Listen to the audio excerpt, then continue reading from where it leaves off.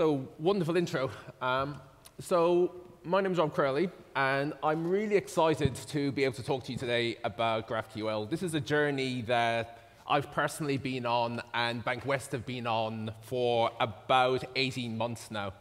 So, we moved from quite a traditional sort of like SOAP mixed with REST interfaces to a new consolidated approach with GraphQL. So, Today's going to be mainly about the technology and sort of like selling the idea of what it could do for you. But then also, as we go through, or sort of in chats later, we can sort of pick out more the pertinent bits to say, okay, well, what category of problems will it solve for you? So specifically what we're going to do is kind of cover that initial step of like why GraphQL even exists. If you're facing a certain type of problems, where can it help? Where will it add value? We're then going to move on to say, okay, well, how, how can GraphQL not only solve the, the challenges of sort of like, you know, traditional request response type architectures of you ask a question of the server and you get your payload back, but then also to more dynamic interfaces. So, you know, we have chat that's coming pervasive, you know, chatbots. We have a couple of workshops on it today. We got push notifications. The designs and the experiences we wish to craft today require this blend of pull and push data. And we'll see how GraphQL can provide an elegant solution for both of them. And finally, realistically, we only have 15 minutes today. You know, I will not be able to make everyone in this room an expert in that period of time. It could take days. I could talk about it for days. But if I can inspire you sufficiently to go away when you leave Decompress and learn a little bit more about GraphQL, that would be an amazing outcome for me. So first of all, look, why was GraphQL born? And it's really a reflection of what's been happening in our industry. So microservices have become pervasive, cloud native, rich web interfaces. And all of these things combined has become a perfect storm to being able to deliver rich API experiences. We know no longer build just for websites. We have mobile apps. Your company might have an upcoming line of wearables. Each one of those clients can have very different data requirements. The data you can fit on a web page very different to a mobile, and again, very different to what you fit on your Apple Watch. So the question becomes then, how can we efficiently deliver the data to each one of these channel applications? And in fact, I'd posit we could go a step better. What we should be looking to do is deliver exactly the data that each one of those client experiences requires in one round trip to the server. And that's for me one of the things, if you unpack the word compelling, it means that you improve all the non functional aspects of it. It should be performant, it should be resilient, it should be simple, it should be intuitive. All of these that we can build into providing that compelling API experience. And this is really one of the, like, the main use cases which will position GraphQL today as this translation layer that will sit in front of all of your traditional interfaces. So it could be your modern HTTP microservices. It could be directly to a relational database, a graph database over TCP. And what we've got to do is we've got to retrieve exactly the data that your mobile app needs, that your wearable app needs, that your website needs in one round trip. Even more so, we're spoiled with websites, right? A user just clicks F5 and they downloaded that new version. That's not to say with mobile apps where you actually have to push out a new version. We want to make sure that the data requirements of each version of that app is also optimized. So as we go through today, um, I've written a sample app that, uh, that seeks to address the main challenges that you will face when getting started with GraphQL. So no need to take the, a picture of this now. I'll put up a reference um, slide at the end. But the domain which we cover in this app and one that we'll be going through in the demos today is quite simple. It's, it's just about artists and albums. I get no points for originality, but it's a domain that we're all familiar with. So should be sort of like able to grok as we're going through. So effectively, we have artists. Artists compose albums. Those albums are released on labels. And then we also have the idea of users which could then submit reviews of these albums. And this is sort of the domain and the schema which we'll see as we go through the demos. So rather than talk a bit more about GraphQL, let's actually just see it in action. So what I've just loaded up here is GraphiQL. So you can think of GraphiQL as being the IDE for GraphQL. It's not actually part of GraphQL itself, but if you download one of the servers, you will generally get this component with it. That's React component. But what it lets you do is author queries and send them to the server. So we could write our first query in GraphQL, and we could just start with an opening closing bracket. And in this particular case, we're going to say we're going to retrieve an artist, and we're just going to retrieve the artist with ID of one. And for this particular thing, we're just going to grab their name. In this particular case, nothing too fancy as yet. But you're already seeing some similarities. So we have a shape of a query on the left, and then in the data side on the right, again, we see artist and name. But so far, nothing you wouldn't see in a REST API. But again, we now say, okay, well, what happens if we wanted to retrieve each one of the albums for that particular artist? And again, we open closing brackets in GraphQL vocabulary, that's called a selection set. And then each one of these items is here is called a field. And again, in a single query, we can now craft that we want to retrieve all of the albums that are retrieved on the right-hand side. So if you're thinking about how you might have done that in REST, you might have retrieved, like made one call to retrieve the artist, and then another call to retrieve each one of the albums. But again, nothing earth-shattering here. So we can go a little bit further. So we said then that each one of these albums is released on a label. So again, let's, let's include the label there. And then we get labels so we can see that the dummy album by Portishead was released on Gobi. We can even get a bit more interesting. What happens if we now wanted to say, retrieve all of the other albums that were, that were produced on that particular label? And we can just keep on going. So again, retrieve all the albums, retrieve the, and then retrieve the artist for that, and again, retrieve the name. So what you can see now is we can arbitrarily build up these queries on the left-hand side, all in one round trip to the server. So you'll also notice as I've gone through, there's sort of like this type ahead thing. Like that's, that's pretty cool. It seems like GraphQL knows what's a valid query or not. So some of the smart people in the room, or if you're using it in production, you're probably thinking there's some type system here. You're absolutely spot on. And then that's what actually defines the ability to produce these sort of type ahead queries. And there's actually a feature called introspection, which lets you query the schema itself. And that's exactly what GraphiQL is doing. Likewise, if I then typed in a field that doesn't exist, I get this nice error to say this particular field doesn't exist on that type. So again, you could remove an entire category of problems that you might have with a weakly type system in REST, because you can mathematically prove that any query in GraphQL will either be able to be executed successfully on the server or not if it doesn't match the domain-specific schema and the syntactic constraints defined by the GraphQL specification. So a lot more to dig in, but at least that should give you a feeling that what we've now done, instead of the server defining the various endpoints that the client can interact with, the client takes on control. We've inverted the responsibility where the client now defines exactly the data it needs which allows us to then satisfy that goal of each different version of each app or client experience defining the query that it needs.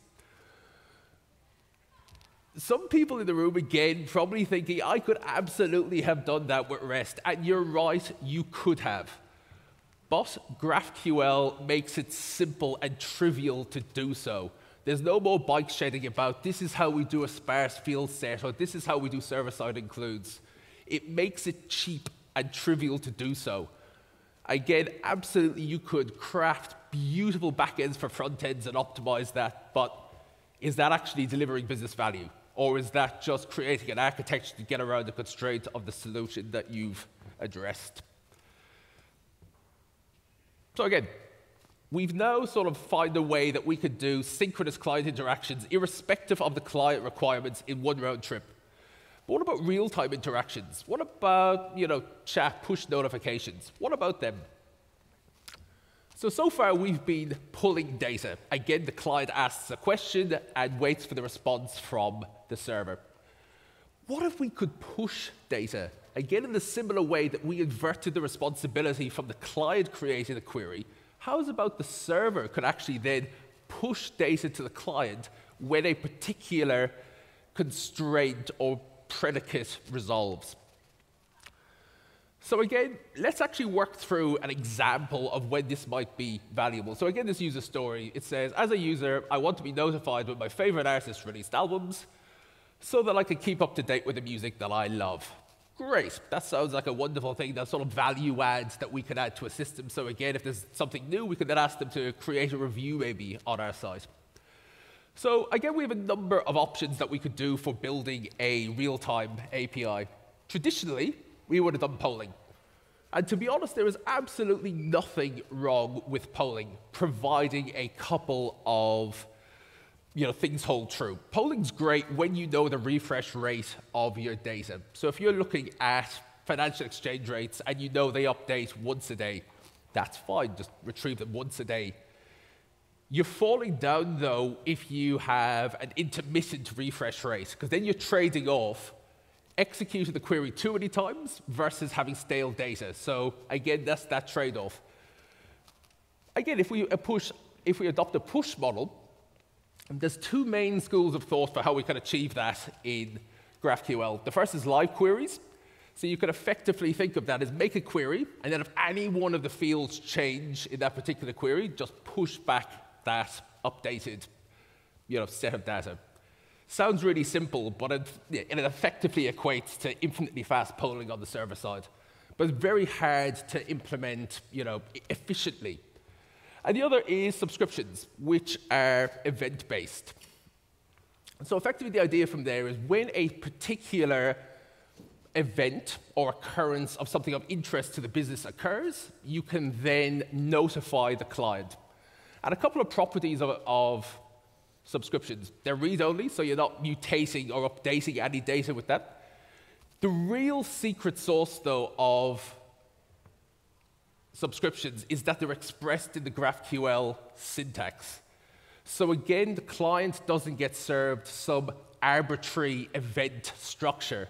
The client can actually express the query or data structure that they want to see when that event happens. And again, that's exactly the shape of the data that they will retrieve. So similar to the query, it's not just a standard event. You get to customize the set of data that you retrieve.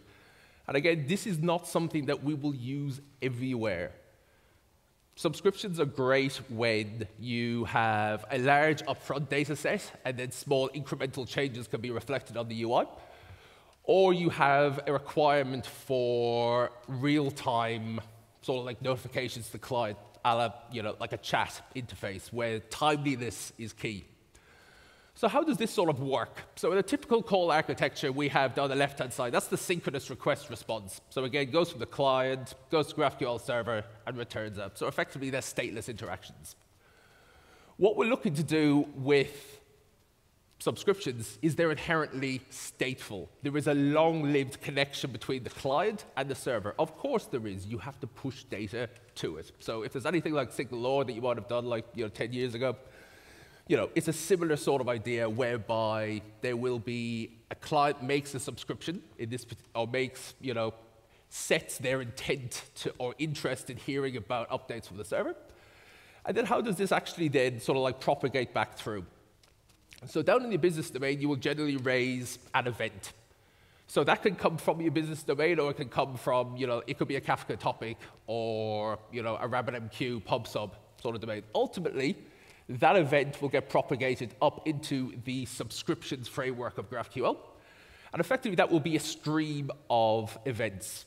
What the subscriptions um, stream mapper will then do is take that input stream and map it to an output stream. And that's the output stream for each one of those client queries. And then that gets sent back to the client. So, clear? I think, a, I think a little example will, will help sort of clarify what that flow looks like. So, in the first case, the client will open up a WebSocket endpoint. In this particular case, I've called the endpoint subscriptions. It's not part of the spec, it's just what I chose. And in this particular case, they issue a subscription query to the server. In this particular case, they're saying, well, the, when the album added event happens, passing in their user ID, they want to get the title of the album and the name of the artist.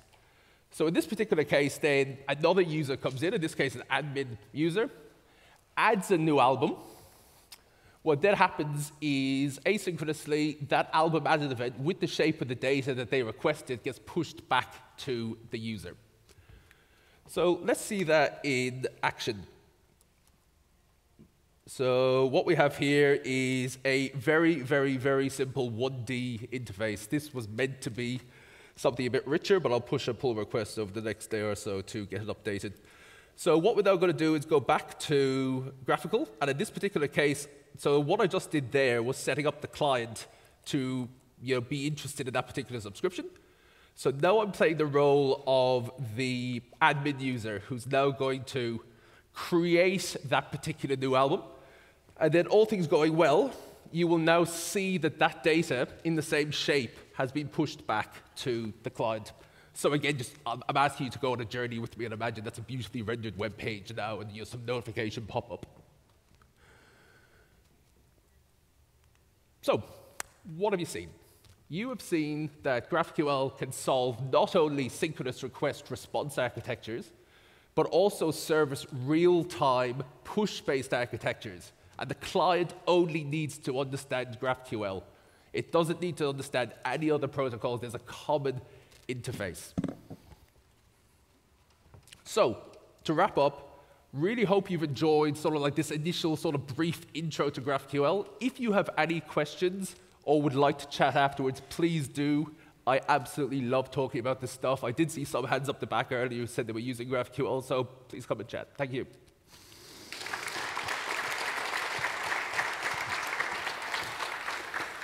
Thank you so much, Rob. That was great. Um, I've just started having a little bit play with GraphQL, and it's it's such a cool, lovely syntax. It's pretty human readable, which is great. And like, I love what you were saying before about making things just simple and like easy and cheap. Like, non-trivial is not not valuable or not powerful. Yeah, I can't agree more. I think a lot of I think a lot of us treat problems, and I'm, I'm guilty of it myself, for sort of achieving the approach with the technology that we've chosen is success, as yeah. opposed to the value of the product that you've delivered. So yeah, yeah, and making it not maintainable by other people is not valuable. Pretty much. Anyway, yeah. thanks all. Yep, thanks.